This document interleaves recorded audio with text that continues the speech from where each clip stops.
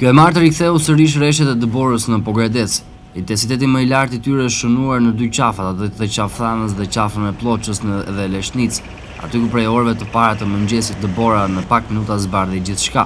Një situatë e tillë në fakt ishte parashikuar edhe nga meteorologët dhe firmat e kontraktuara për mirëmbajtjen e rrugëve, sidomos aksit Qafë-Thanë-Kapshticë, Kishin informacion dhe ishin përgatitur mbi situatën.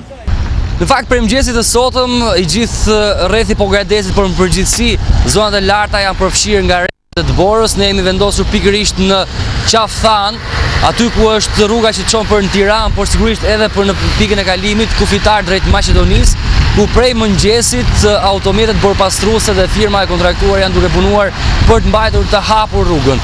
Është bërë hedhja e kripës dhe të skorjes që në orët e para dhe vazhdohet të jetë në gatishmëri në çdo moment kur do të jetë e nevojshme sërish për të punuar borëpastruesja, por sigurisht dhe hedhja e kripës.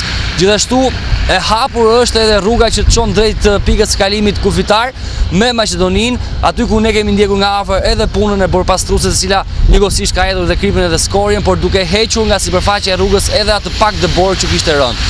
Në momentet që flasim, dëbora vazhdon të bjerë, siç mund ta shikoni edhe nga pamjet, ndërkohë që rruga është e hapur. Në terren është edhe policia rrugore, qoftë ajo e Pogradecit, siç ne kemi gjetur këtu, por sigurisht edhe ajo e Prenjasit, e cila është në krahun tjetër, sepse këtu ndahet Pogradeci me Prenjasin me zona. Dëbora, si duket, do të vazhdojë të bjerë dhe në minutat dhe orët në vazhdim. por nga ana tjetër duket se problemet do të mungojnë. Rruga do të jetë e hapur, të paktën kështu garanton firma, mbetet për t'u parë çfarë do të ndodhë në vazhdimësi.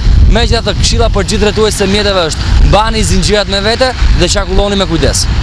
Në pikën e kalimit kufitar të Qafthanës dëbora ishte marrë me qetësi, pasi nuk frynte erë, por nuk mungoi ndërhyrja e firmës dhe borëpastrueses edhe në këtë zonë deri pranë doganës së Maqedonisë, duke hapur rrugën dhe hedhur kripë e skorje.